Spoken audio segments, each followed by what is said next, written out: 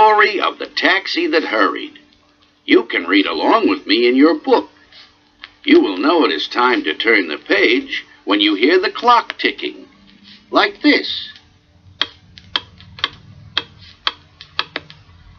Let's begin now. Once there was a taxi. It was a bright yellow taxi with two red lines running around its body. Inside, it had a soft leather seat and two hard little let-down seats. It was a smart little taxi, for it could start fast. It could tear along the street, and it could stop fast. Its driver's name was Bill. Together, they were a speedy pair. One day, the taxi was standing on the street close to the sidewalk.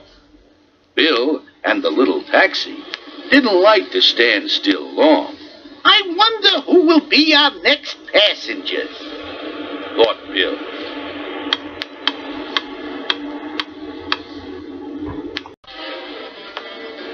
Tom's mother bounced so hard on the wide leather seat that her head whacked the ceiling of the taxi. Oh! Her hat slid down over one ear.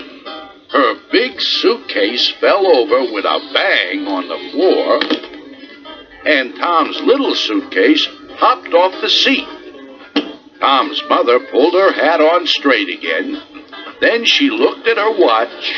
Then she looked out the window at all the taxis and buses and trucks.